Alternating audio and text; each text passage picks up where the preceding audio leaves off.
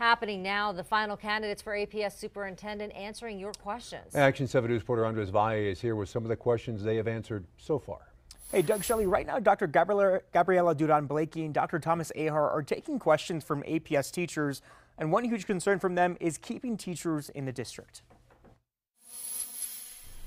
I loved my students, and that never changed, and that will never change. Um, it was the system that was inefficient and was not supporting me in my endeavors. Anastasia Thurgood Cordova is a former teacher from Eldorado High School.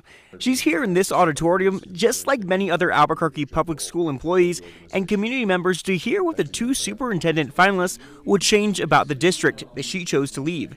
Dr. Gabriela Duran Blakey, the current chief operations officer for the district, promising this. So that means investing into our staff to rally around kids and creating the environments in which they will succeed. My work is dedicated to students. That's why I'm in this field of education.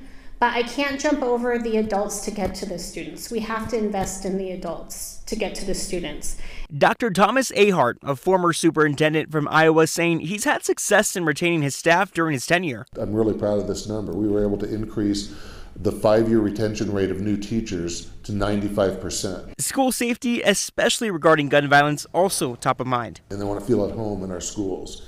And um, unfortunately, much of what uh, actions that we take as adults um, don't always make them feel safe.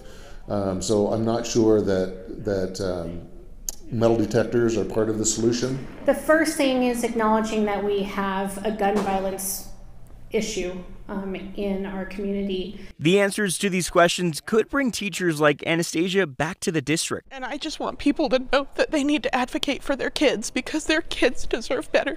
And people like me don't have enough energy to advocate for all of your kids.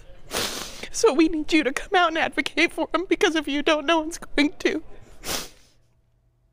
Now, I did ask Anastasia if she would ever return to teaching for APS after hearing both candidates speak.